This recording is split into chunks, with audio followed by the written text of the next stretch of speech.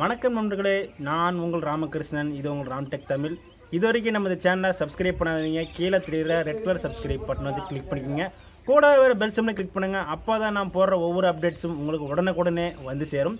அது போக மறுபடியும் இந்த வீடியோ உங்களுக்கு பிடிச்சிருந்துச்சு அப்படின்னா உங்கள் ஃப்ரெண்ட்ஸுக்கு உங்கள் உறவினருக்கு உங்கள் ஆஃபீஸ் நண்பர்களுக்கு எல்லாருக்குமே வந்து கீழே இருக்கிற ஷேர் பட்டனை கிளிக் பண்ணி ஷேர் பண்ணிடுங்க கீழே இருக்கிற லை லைக் பட்டனையும் தட்டிடுங்க வாங்க நண்பர்களே இன்றைக்கான வீடியோக்குள்ள ஹாய் ஃப்ரெண்ட்ஸ் அதாவது இந்த மாதிரி ஏ ஃபோர் சீட்டில் வந்து நாலா பக்கமும் டூ டூ ரெண்டு ரெண்டு எம்எம் வந்து கோடு போட்டு வச்சுட்டு கொஸ்டின் பேப்பரை டவுன்லோட் பண்ணி வச்சுக்கோங்க. அதுக்கப்புறம் வந்து இது எல்லா பேப்பரும் ஃபில் பண்ணி ஆன்சரை ஃபில் பண்ணிவிட்டு டாக்குமெண்ட் ஸ்கேனரை வச்சு நீங்கள் வந்து ஒவ்வொரு பேப்பராக வந்து இந்த மாதிரி நீங்கள் ஸ்கேன் பண்ணி வச்சு எடுத்து வச்சுக்கோங்க ஃபைலாக ஏன்னா பிடிஎஃப் ஃபைலாக தான் ஒட்டுமொத்தமாக எத்தனை பத்து பேப்பர் எழுதணும் ரெண்டு பக்கமுமே எழுதலாம்.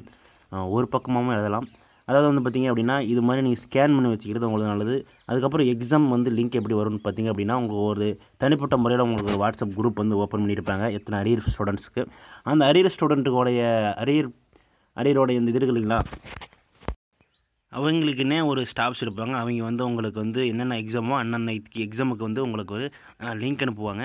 அந்த லிங்க்கை வச்சு நம்ம வந்து ஓப்பன் பண்ணிடும் ஓப்பன் பண்ணி அதுக்கப்புறம் பின்னாடி சொல்கிறது எப்படி இருக்குது அப்படின்ட்டு ஒவ்வொரு பேப்பரையும் நீங்கள் கேர்ஃபுல்லாக வந்து நீங்கள் அதனுடைய இந்த மாதிரி பிடிஎஃப்லாம் எடுத்துக்கிறது நல்லது. ஏன் வந்து பார்த்திங்க அப்படின்னா அப்போ தான் வந்து தெள்ள தெளிவாக வந்து அனுப்பணும். ஏன்னா பிடிஎஃப் வந்து எழுதுனதும் அனுப்பணும் அப்லோடும் செய்யணும். நீங்கள் கொரியர் பண்ணணும். கொரியர் பண்ணுறது வந்து பார்த்திங்க அப்படின்னா இதுலேயே வந்து கவர் பேஜ் அப்படின்னு இருக்கும். அந்த கவர் பேஜை நீங்கள் பிரிண்ட் அவுட் எடுத்து அதை நீங்கள் கொரியர் பண்ணுற பேக்கை வச்சு கொரி சாரி கொரியர் பண்ணுற கவரை வச்சு அதுக்கு மேலே ஒட்டிட்டு அதுக்கப்புறம் லேபிள் பண்ணி ஃபுல்லாக வந்து நீங்கள் கொரியர் கொரியர் ஆஃபீஸ்க்கு போயிட்டு கொரியரே கொடுக்கணும். நீங்கள் பக்கத்துலேயே காலேஜ் இருந்தாலும் நீங்கள் போயிட்டு டேரெக்டாக கொடுக்கக்கூடாது மறுபடியும் நீங்கள் போய் கொரியர் மட்டும்தான் பண்ணணும். நீங்கள் காலேஜில் நிறைய ஃப்ரெண்ட்ஸ் ஃப்ரெண்ட்ஸ் கூட எழுதுவாங்க. எழுதுனா கூட நீங்கள் வெளியே வந்து தான் மறுபடியும் வந்து நம்மளுடைய வந்து என்ன பண்ணணும்னா கொரியர் அனுப்பிடுங்க. அதாவது வந்து ஃபைல் நேம் வந்து உங்கள் நீங்கள் ஷார்ட்டாக தெரிஞ்சுக்கிட்டு உங்கள் நேமோ இல்லை உங்கள் ரிஜிஸ்டர் நம்பரோ போட்டு வச்சுக்கிட்டிங்கன்னா நல்லது.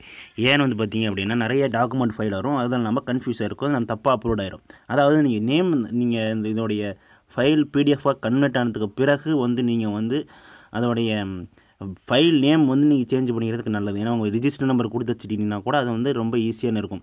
அப்போ தான் வந்து நம்ம டக்குன்னு வந்து ட- இது கொடுக்குறதுக்கு சர்ச் பண்ணி பார்க்குறதுக்கு நம்ம கொடுத்துடலாம். அப்புறம் வந்து அந்த எப்படி மறுபடியும் நம்ம அப்லோட் பண்ணுறதுங்கிறது நான் சொல்கிறேன் இப்போ வந்து இந்த மாதிரியான கூகுள் கிளாஸ் ரூம் வந்து நீங்கள் ஆப் டவுன்லோட் பண்ணி வச்சுக்கோங்க. இந்த கூகுள் கிளாஸ் ரூம் வந்து கிளிக் பண்ண உடனே அந்த கொடுத்த உடனே கீ கீழே இருக்கல பார்த்தீங்கன்னா இந்த ஸ்டெப்ஸை வந்து நீங்கள் ஃபாலோ பண்ணிங்கனாவே உங்களுடைய இந்த குரோம் பேஜுக்குள்ளே போகும். இந்த குரோம்குள்ளே போயிட்டு அதுக்கப்புறம் ப முதல்ல வந்து பார்த்திங்க அப்படின்னா உங்கள் இமெயில் அட்ரஸ் வந்து கேட்கும். அந்த இமெயில் அட்ரஸை வந்து நீங்கள் ஃபுல்லாக வந்து கொடுத்துடணும். அப்போ தான் வந்து இமெயில் அட்ரஸ் கேட்கும். நீங்கள் மறக்காமல் உன்னோட தப்பு இல்லாமல் கொடுக்கணும். அப்போ தான் வந்து அது சக்ஸஸ் ஆகும். ஏன்னு வந்து பார்த்தீங்க அப்படின்னா அப்போ தான் வந்து போகும். அவனுடைய உங்களுடைய காலேஜ் இன்ஸ்டியூட்டோட கோடுன்னு ஒன்று இருக்கும். மூணு நம்பரோ நாலு நம்பரோ இருக்கும். உங்களுடைய காலேஜோடைய கோடு அப்படின்னு கேட்டிங்க அப்படின்னா ஸ்டாஃப் சொல்லுவாங்க. அப்புறம் ரிஜிஸ்டர் நம்பர் உங்களுடைய ரிஜிஸ்டர் நம்பரை வந்து தப்பு இல்லாமல் ஒன்றுடாமல் அப்படியே அணிங்க. ஏன்னு வந்து பார்த்திங்கன்னா அதுலேயும் எந்த ஒரு தப்பும் செஞ்சிடக்கூடாது. அப்போ தான் நம்மளுடைய பாஸ் மார்க்கும் அது அப்லோட் ஆகும். இல்லைன்னா ஒரு சிலருக்கு அது நாட்டு அப்படின்னு வருது. அதையும் நம்ம ஃப்ரெண்ட்ஸ் சொன்னாங்க.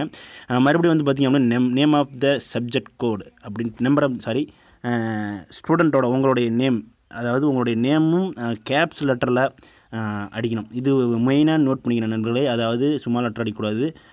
கேப் லெட்டர் அடிக்கணும் சப்ஜெக்ட் கோட் அப்படின்ட்டு உங்கள் கொஸ்டின் பேப்பருக்கு மேலேயே ஒரு சிக்ஸ் டிஜிட் நம்பரோ ஃபோர் டிஜிட் நம்பரோ இருக்கும். ஒவ்வொரு கொஸ்டின் பேப்பருக்கும் ஒவ்வொன்று இது அப்லோடுன்னு கீழே இருக்கு இல்லையா அப்லோடுன்னு கொடுத்து அந்த செலக்ட் ஃபைல் கொடுத்து நீங்கள் ஃபைலுக்குள்ளே போங்க. ஃபைலுக்குள்ளே போயிட்டு நீங்கள் எந்த மாதிரியான வந்து அதில் நீங்கள் ஃபைலை அப்லோட் பண்ணி வச்சுருக்கீங்களோ அதை வந்து கிளிக் பண்ணுங்கள் கிளிக் பண்ணிவிட்டு மறுபடியும் அந்த ஃபைலுக்குள்ளே போயிட்டு அந்த ஃபைலை செலெக்ஷன் பண்ணுங்கள் அந்த ஃபைலை செலக்ட் பண்ணிவிட்டு அதை தேடி க தேடி கண்டுபிடிச்சி அதை நீங்கள் கிளிக் பண்ணிட்டு அமுச்சு விட்டீங்க அப்படின்னா அது உடனே போய் அது அப்லோட் ஆயிரும். இந்த கிளிக் பண்ணி அப்லோட் ஆயிடுச்சுன்னு வைங்களேன் உங்களுக்கு வந்து இது சப்மிட் ஆயிரும். இப்போ வந்து இந்த மாதிரியான ஃபைலில் வந்து ஒரு அந்த லோடிங் அங்கே லோடிங் ஆகிற வரைக்கும் ஒரு எந்த பேஜுமோ க வச்சுக்கோங்க. ஏன்னா நீங்கள் இந்த மாதிரி அப்லோட் பண்ணுற சமயத்தில் வந்து நீங்கள் ஏரோப்ளேன் மட்டும் சாரி இந்த வந்து ஃபோர் ஜியோ காலியோ கட் பண்ணி வச்சுருங்க. அப்போ தான் வந்து ஃபோன் கால் வந்துச்சு அப்படின்னா கூட ஏதாவது மறுதல் மறுபடியும் ஃபஸ்ட்லேருந்து பண்ணுற மாதிரி வரும். இந்த ப்ளூவோடைய பாக்ஸோடைய ஃபுல்லாக அங்கே அந்த அந்த எண்டு போகிற வரைக்கும் நீங்கள் வந்து வெயிட் பண்ணணும். வெயிட் பண்ணால் தான் வந்து அது வந்து போய் அப்லோட் ஆகும். இது ஃபுல்லாக வந்து அப்லோடாகி கம்ப்ளீட் பண்ண வரைக்கும் நீங்கள் வெயிட் பண்ணி அப்லோட் பண்ணிடுங்க. அப்லோட் ஆன்சர் சீட்னு இருக்கு இல்லையா? அப்லோட் ஆப்ஷன் சீட் கீழே சப்மிட் அப்படின்னு ஒரு பட்டன் இருக்கும். அந்த சப்மிட் பட்டனை கிளிக் பண்ணிட்டீங்க அப்படின்னா உங்களுடைய ஆன்சர் சீட் அப்லோட் ஆயிரும். அதுக்கப்புறம் நீங்கள் கொடுத்துட்டிங்கன்னா இந்த ஓவர் ஓகே ரொம்ப நன்றி வணக்கம்.